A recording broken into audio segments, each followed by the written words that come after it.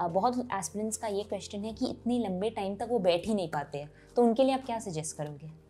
एक मतलब अगर एक तो थोड़ा स्केड्यूल बनाना चाहिए हम्म, कि मुझे ये पढ़ना है तो उससे एक बार आउटलाइन मिल जाता है कि क्या क्या करना है आज। Okay. और बेसिक मैं तो यही मानता हूँ कि अगर आपको अंदर से जब तक नहीं आएगा ना कि मुझे पढ़ना है हम्म। तो किसी के बोलने से कुछ भी नहीं होगा। हम्म। तो आपको बैठना रहेगा कि ये रहे ये रहना चाहिए कि मुझे इम्प्रूव करना है। हम्म, तो जैसे फॉर एग्ज़ाम्पल पेपर एक पेपर ले लिया hmm, in day three hours से paper two and half hours timer लगा के पेपर सॉल्व कर लिया। तो वो सेटिंग तो कंटिन्यूस हो गई। तो एक बार फ्लो बन गया। हम्म। फिर जो पेपर किया उसमें डाउट्स आए तो वो मतलब एक स्केड्यूल बना के रखेंगे तो बहुत ईजी हो जाएगा। हम्म। और फिर ऐसा क्वेश्चंस थ्योरी पढ़ ली अब क्वेश्चंस करने हैं, हम्म। तो टाइमर लगा के करो। उससे क्या आप टाइम बाउंड रहोगे तो आपको बैठना ही पड़ेगा। और फिर धीरे धीरे ऐसे एक बार तो बैठना पड़ेगा थोड़ी देर हम्म। स्टार्टिंग में मन नहीं होगा।